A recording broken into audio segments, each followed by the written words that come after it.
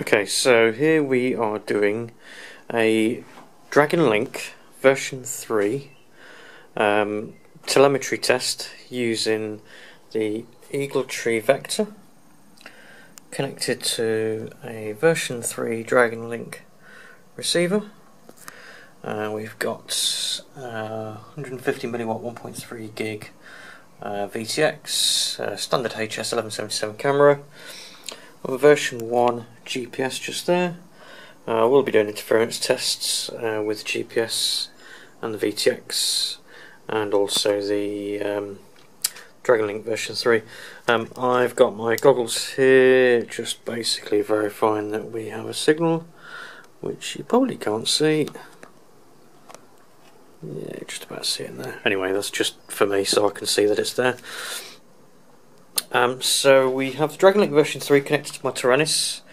Um, it is bound and the blue lights indicate that we do have solid telemetry. uh, so the telemetry is done through the UART port and it's done using two wires, the black and the orange, which are the middle two connections and they are just connected. I've set it to pin sorry to uh, servo channel 6 on the receiver. And you can see there's just a signal and black cable.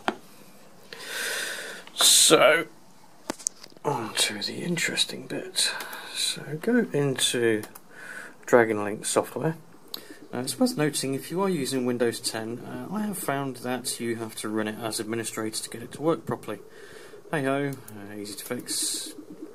Um, so we go to main setup and as you can see down here we have telemetry. Happy days. So what does this mean? Well it means if you've got a suitable um, phone or tablet or droid planner on your uh, laptop you can connect via either via Bluetooth uh, to the DragonLink version 3 or via uh, a USB cable. Um, I've been doing some reading, and apparently Droid Planner a bit uh, has a bit of a problem with Bluetooth on some devices. Uh, so I'll probably be using the USB cable. But hey ho, let's give it a go. So let's connect. Connected.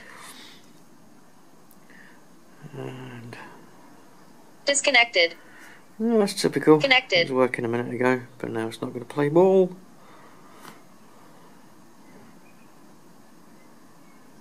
Oh, there we go. Yeah, we've got. So if I roll the vector like this, you'll see, and it's disconnected again.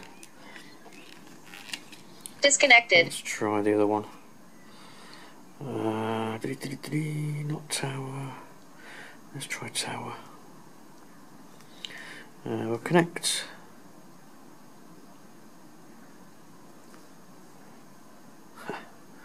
This was working a minute ago. Sod's Law. Oh no, there we go, I think we're connected. Yes, we can see there that you can see the pitch and roll is moving as I'm moving the vector. Uh, this version of Tower isn't great because you don't get all the data. Let me try one of the other ones. But you can see there at the top 16.3 volts running a 4 cell LiPo. Let's try Droid Planner version 3.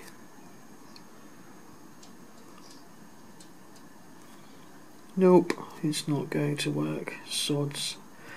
Flaming law. Okay, let's try Droid Planner version 2 once more. It does work. Disconnected. Settings. So you can see I've got my telemetry set to Bluetooth. Uh, so let's go back. Connect. Connected. Armed. Yay, there we go. So, yeah, and you can see I'm moving and that's working. And 16.3 volts. Disconnected. Amps, and it's disconnected again. But anyway, you get the idea. Data's coming through uh, to the PC via the USB cable, so I'm going to load up Mission Planner on my PC and see what funky things we can do with that.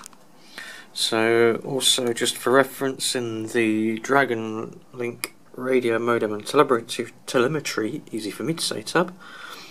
Uh, Bluetooth is set to Dragon DragonLink Mavlink. Expansion connection is set to radio modem, and I'm using 57k 600 for the baud rate. That's what is recommended by DragonLink and is also what's recommended in the config file for the Eagle Tree Vector. Um, that is pretty much it for now, I think.